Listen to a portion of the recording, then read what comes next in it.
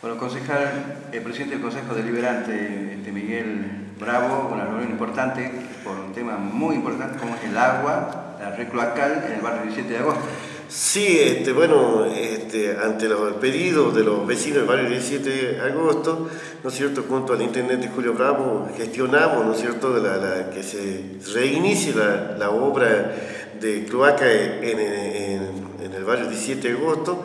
Bueno, este, fuimos, fuimos con los vecinos que, que, me acompañaron a hablar con las autoridades de, de, Agua de Ruanda, el ingeniero Sánchez, el ingeniero Juri, bueno, este, una muy buena noticia, eso dio, un resultado positivo, así que la obra se ha iniciado, la, el reinicio de la obra eh, comenzó el, el jueves de la semana pasada, ya están limpiando las, las bocas, están, están este, nivel, eh, marcando para hacer las excavaciones en la calle que faltan sobre la prolongación Patterson.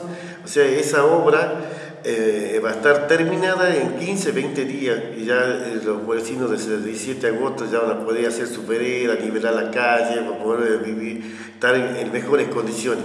Es una buena alegría, sí. gestionar la instalación domiciliaria. Sí, después, bueno, se, colocará el chicote para que cada vecino pues, ponga, eh, se conecte a la cloaca. Bien. Eh, también hubo una reunión con vecinos eh, por el tema de la inseguridad con el jefe de la Regional 2. Sí, en los mismos vecinos de la, nueva ciudad que, trae, que, trae, que, se, que se comunica con el centro a través del puente Patterson, el puente 25 de mayo. Bueno, gente que va a trabajar a las 5 o 6 de la mañana son, son robados por, los delincuentes, les traen le sustraen su mochila, sus celulares, la zapatilla, la campera, a esa hora, a las 5 o 6 de la mañana y también a la hora de la noche.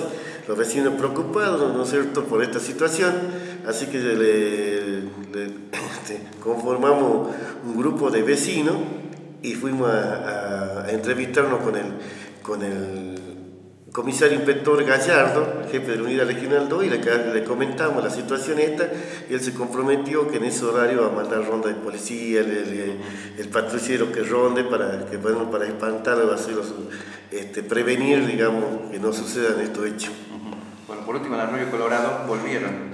Sí, fuimos a visitar el Arroyo, el arroyo Colorado a la, a la escuela.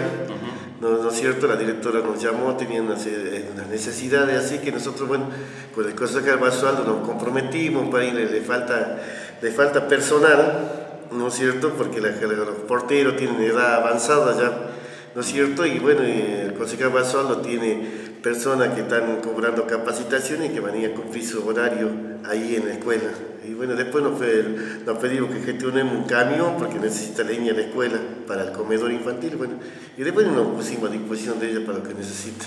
Bien, muchas gracias. Gracias a usted.